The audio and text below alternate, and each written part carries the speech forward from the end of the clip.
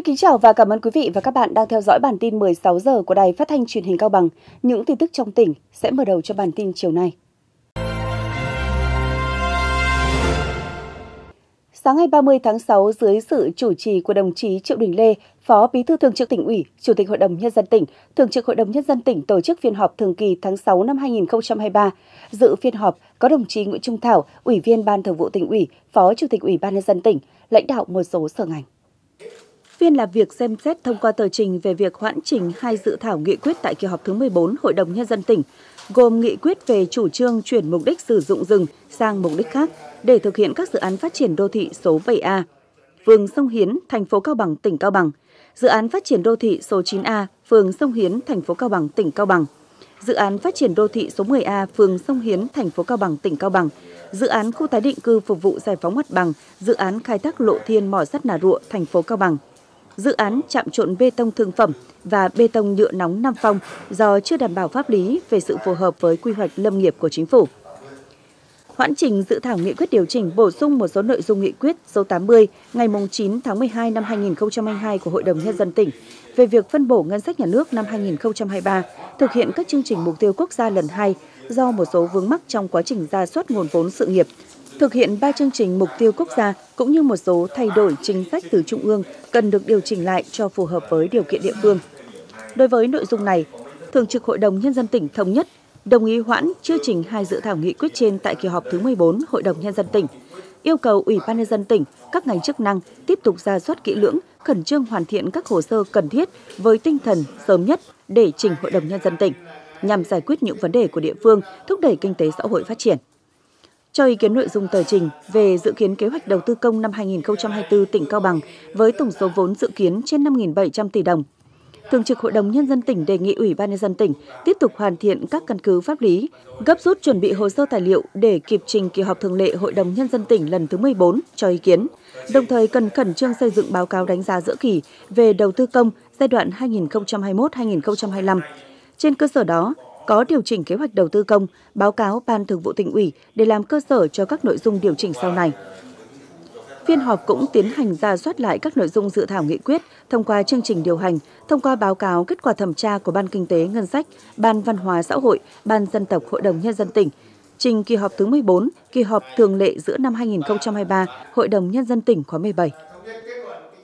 Chiều ngày 29 tháng 6, huyện ủy Hà Quảng tổ chức hội nghị sơ kết giữa nhiệm kỳ thực hiện nghị quyết Đại hội Đảng bộ huyện khóa 20, nhiệm kỳ 2020-2025, đồng chí Nguyễn Thúy Anh, Ủy viên Ban Thường vụ tỉnh ủy, trưởng ban tổ chức tỉnh ủy dự và phát biểu chỉ đạo.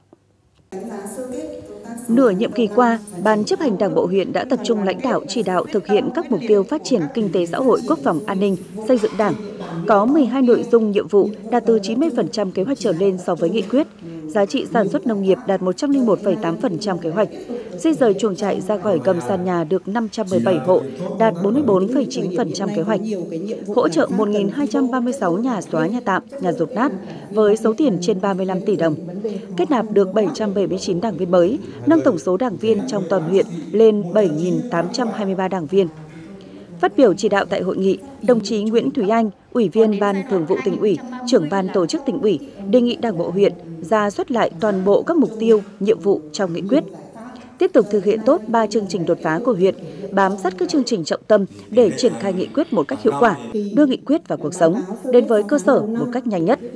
Sử dụng nguồn vốn được phân bổ phù hợp, linh động và có hiệu quả, có trọng tâm trọng điểm. Công tác giảm nghèo phải bền vững, đi đôi với tăng thu nhập cho các hộ vùng đồng bào thiểu số, phát huy nội lực, tranh thủ các nguồn vốn hỗ trợ, không trông chờ ỉ lại, dám nghĩ, dám làm, đi đôi với phát huy vai trò đoàn kết nhân dân trong cộng đồng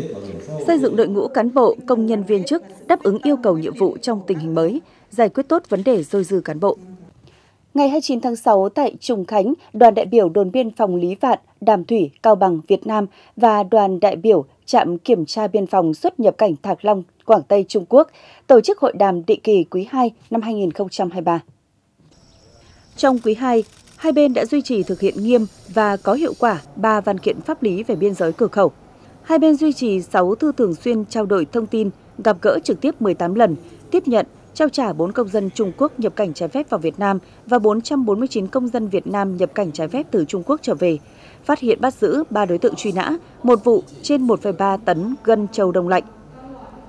Thời gian tới, hai bên tiếp tục phối hợp làm tốt công tác chuẩn bị và tham mưu sớm khôi phục hoạt động lưu thông tại cửa khẩu Lý Vạn Việt Nam, Thạc Long Trung Quốc. Tổ chức công bố lên cửa khẩu song phương và phối hợp hoàn thiện các thủ tục, trình tự nâng cấp lên cửa khẩu quốc tế thúc đẩy đưa lối mở bản dốc Việt Nam, Đức Thiên Trung Quốc đi vào hoạt động, tăng cường tuần tra kiểm soát, phối hợp trao đổi tình hình an ninh trật tự. Chiều ngày 29 tháng 6, Liên đoàn Lao động thành phố tổ chức lễ công bố thành lập công đoàn cơ sở trường mầm non tư thục tuổi thơ tổ 4 phường Đề Thám, thành phố Cao Bằng. Tham dự có đại diện Liên đoàn Lao động tỉnh. Tại buổi lễ, lãnh đạo Liên đoàn Lao động thành phố đã công bố quyết định thành lập công đoàn cơ sở mầm non tuổi thơ gồm 22 đoàn viên và chỉ định ban chấp hành lâm thời gồm 5 đồng chí. Cơ sở mầm non tư thục tuổi thơ được thành lập từ năm 2013, hoạt động trong lĩnh vực nuôi dưỡng, chăm sóc giáo dục trẻ mầm non. Đến nay, sau 10 năm thành lập, cơ sở có tổng số 22 cán bộ, giáo viên, người lao động. Sau khi được thành lập, Liên đoàn Lao động thành phố đề nghị đơn vị hoàn thiện quy chế hoạt động, quy chế dân chủ, xây dựng mối đoàn kết nội bộ, thường xuyên nắm bắt tâm tư nguyện vọng của đoàn viên, động viên khích lệ người lao động nỗ lực trong công việc, nâng cao hiệu quả hoạt động sản xuất kinh doanh, phát huy vai trò cầu nối giữa người lao động và chủ doanh nghiệp, bảo vệ quyền, lợi ích hợp pháp của đoàn viên, người lao động.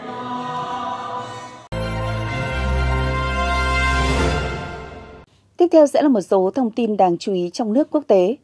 Bộ Tài chính vừa ban hành thông tư quy định từ ngày 1 tháng 7 đến ngày 31 tháng 12, 36 khoản phí lệ phí sẽ được giảm mức thu từ 10 đến 50%. Dự kiến quy định này sẽ làm giảm thu ngân sách nhà nước khoảng 700 tỷ đồng.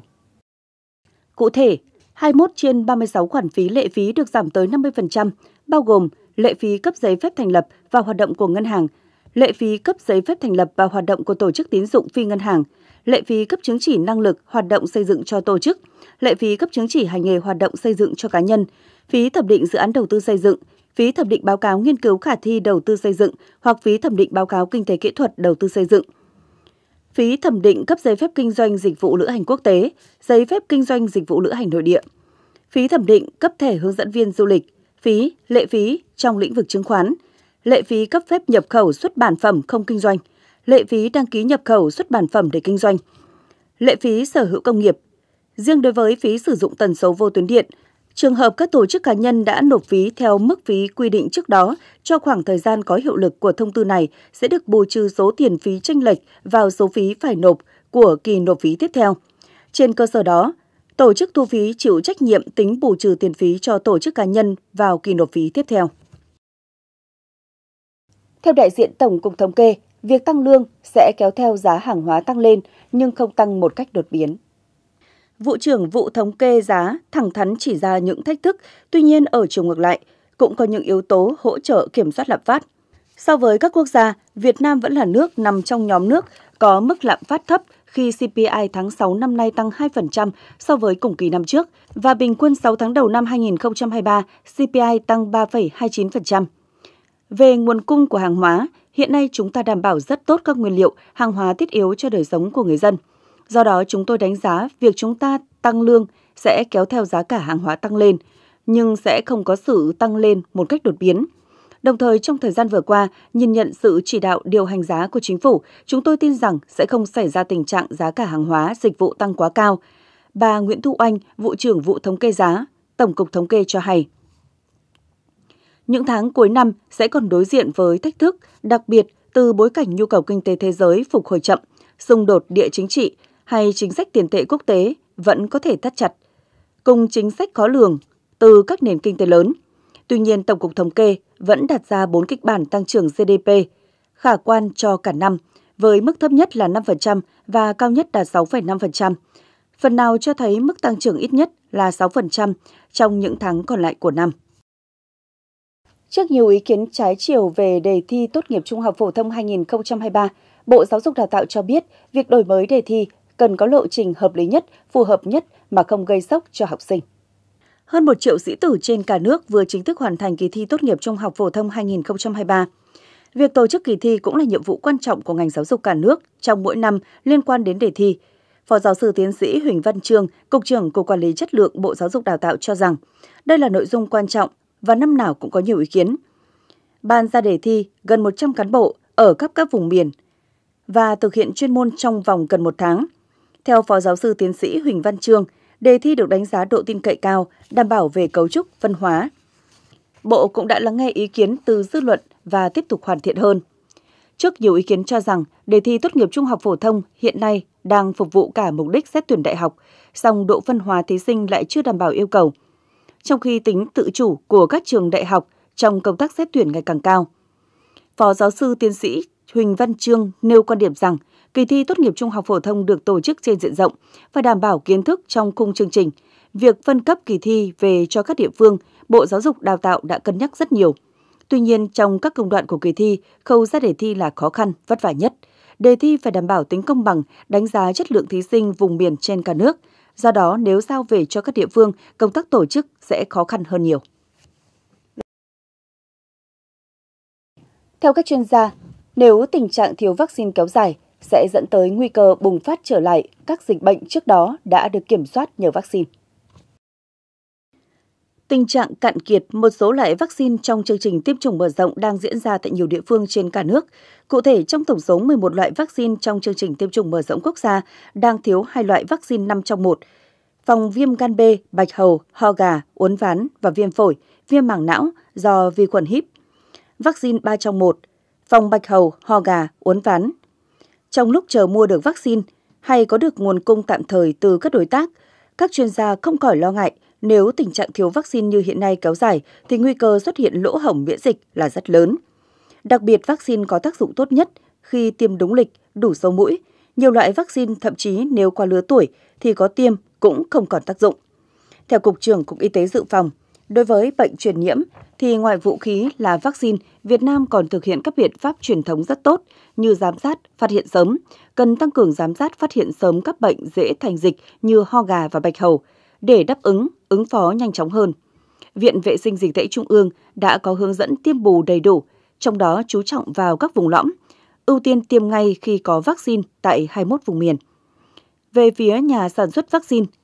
Tiến sĩ Dương Hữu Thái, Viện trưởng Viện Vaccine và Sinh phẩm Y tế Bộ Y tế cho rằng các loại vaccine cung ứng cho chương trình tiêm chủng mở rộng được sản xuất theo cơ chế đặt hàng. Tuy vậy, bất cứ lúc nào đơn vị cũng chủ động sản xuất và có một lượng vaccine tương đối để cung cấp nếu các đơn vị có nhu cầu.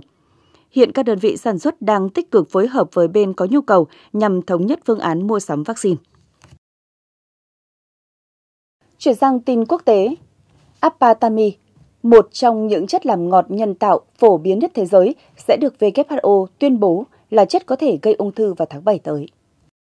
Chất tạo ngọt aspartame được sử dụng trong nhiều sản phẩm từ nước ngọt dành cho người ăn kiêng của Coca-Cola đến kẹo cao su mắt Extra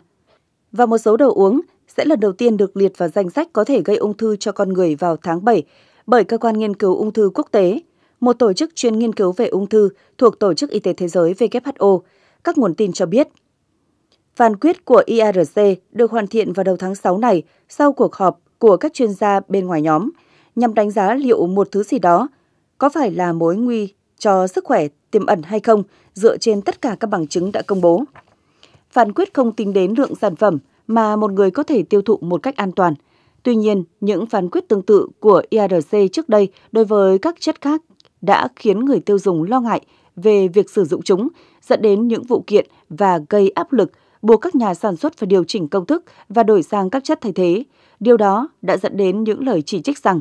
các đánh giá của IARC có thể gây nhầm lẫn cho công chúng. Bản tin 16 giờ hôm nay đến đây là hết. Cảm ơn quý vị và các bạn đã quan tâm theo dõi. Xin kính chào và hẹn gặp lại.